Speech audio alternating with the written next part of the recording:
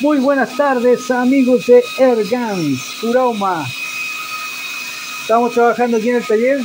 Estamos con nuestro amigo Jorge Valdebenito, que nos vino a, visitar al taller y estamos un poquito acá. Le cambiamos al Kral Jumbo Dazzle, le cambiamos, le pusimos botella, pero de 300 cc. Esto quedó hermoso, compadre. Hermoso. Y las prestaciones del rifle quedaron espectaculares porque ahora quedó más livianito el rifle.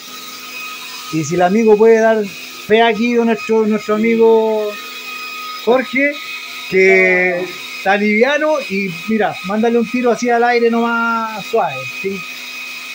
Pruébalo. Pero pruébalo, pruébalo. Dispara, dispara. Vaya a sentirlo suavecito. ¿Cachai o no? Suavecito.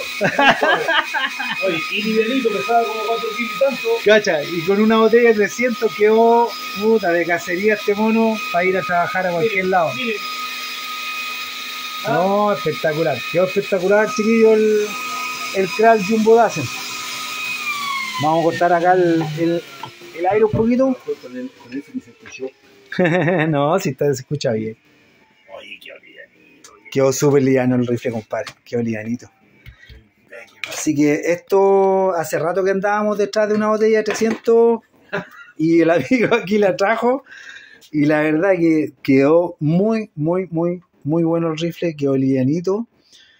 Y bueno, después nos irá a contar nuestro amigo Jorge cómo van a quedar la, lo- los tiros, como cuántos tiros, cuánto va a ser la autonomía que va a quedar con el rifle.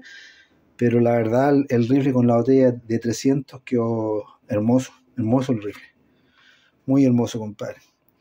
Así que los que se quieran animar para comprar la botella, no hay ningún drama. Así que está fácil cambiarla, está fácil hacer todo el trabajo. Eh, no lo mostramos aquí en el video porque no es solamente cambiar la válvula que va acá de la botella del claro original a la botella nueva. Así que amigos, este rifle quedó espectacular. Así que un abrazo grande y como siempre, Air Guns trabajando para usted.